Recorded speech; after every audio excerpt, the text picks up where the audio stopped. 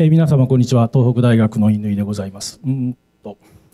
あの私の専門は自然言語処理といいまして、えー、情報科学のあの、まあ、日本語や英語のようなですね、えー、言語をコンピューターで処理する解析するような技術をやっております。今日その立場から、え、少しお話しさせていただきます。えー、あの先ほど来出てます教育に関するさまざまなデータその中にあの言語のデータもたくさんありまして、えー、生徒が書いたような記述式の答案とか作文エッセイのようなものから、えー、教員が書くその解説やフィードバックのようなものですねあそういうことを考えますとさまざ、まなものが言語のデータになっているということが言えます。これをあのラーニングアナリティクスにつなげようとしますとスケールさせるためにはあのそのどっかに機械が介在する必要があると。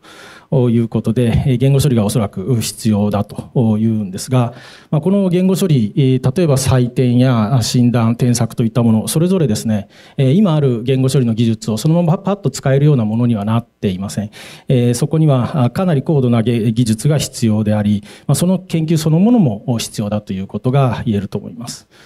えーまあ、そういう文脈の中で私自身あの東北第二世紀を置きながら、えー、理化学研究所の AIP センターというところで自然言語理解チームというもののあのチームのリーダーをさせていただいておりまして、えー、その中でですね、まあ、非常に面白い、えー、自然言語処理の専門家が集まっているチームになってきてるんですけれども人間の作文や論述ですね、まあ、もっと言えば趣向ですか、えー、を解析してどこがどう良いかとか不十分かとかどう直すと良いかというようなことを説明できるようなそういう AI 技術を開発しようと。ということで研究を展開してきております。例えばこの生徒が書く記述式の問題ですね、問題があって、生徒の答えがあって、なんかこう採点基準のようなものがあって、採点しますみたいな。例えばこういうものとか、えっと、生徒が書いた英語の問題をですね、えっと、問題をこう明らかにして、で解説付きで、え添削して返してあげるとか、あるいはもう少し高度になりますと論述やディベートの相手をするインタラクティブに指導するというような、まあ、こういう中長期的な課題までさまざまなことに取り組もうとしています。えーまあ、なぜ自然言語処理の研究者がこういうことをやるかといいますともちろん社会的ニーズがあるわけなんですけれどもあのそれ以外にですねこういうことを究極的にやろうとするとこう不完全な文章をちゃんと解析しなければいけないあるいは文脈からあのこの人どういうこと言いたいのかという意図を推測するというようなですね自然言語処理にとってはもう長年の未解決な重要な課題がこの中にいくつも入っているえということで非常に骨のある研究者にとって重要な課題であるということが言えます。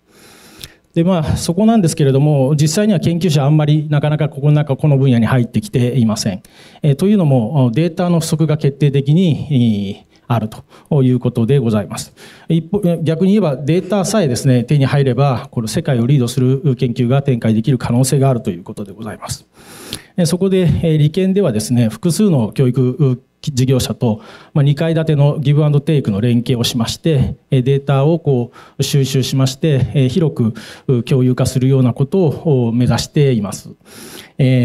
実データを教育事業者から頂いて我々が研究して技術を広く共有の知財として利権の知財としてですね広く提供する。えこちらからギブするのは、えその技術に付加価値をつけて、まあ、その事業者特有のですねサービスの中に入れていくところまであのお手伝いをさせていただくと。でここからが重要なんですけどもその、まあ、見返りというかですね、えー、としてあの事業者の技術をじゃ情報をですねデータをいただいてそれをあの第三の外部の研究者に追試用のデータとして提供していくともしこれができれば本当に画期的なことであのこの分野にデータが流通することになって研究者が参入してきて大きな研究分野ができると、えーまあ、これが今いくつかの事業者と今、えー、っとえー、こう連携の形になってきているというところでございます。例えばあの本当に最初の例なんですけれどもあのこういうデータをひとまずいただきましてこれでも世界最大級のデータになっているんですけれども、まあ、こうしたデータが手に入るとですねそれに対して人工知能的な技術の開発が進んできて例えば200頭の訓練データで問題によってはですね担当式の記述に対して人間と同等の精度で、え、あの採点をすることができるというようなことができるということでございます。えということで私からのメッセージはあの自然言語処理の研究そのものもですねこのラーニングアナリティクスには必要でございましてそれのためのデータも必要だということでございます。え私からは以上です。どうもありがとうございました。